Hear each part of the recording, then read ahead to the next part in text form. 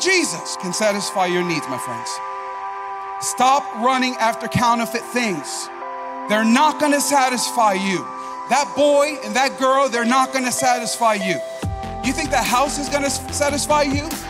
And you're paying way too much for that house, way too much for that car? Stop it. Let's stop running after things. Friends, time is too short. There's an urgency in the spirit for us to be running around chasing after things that we don't need to be chasing after anymore.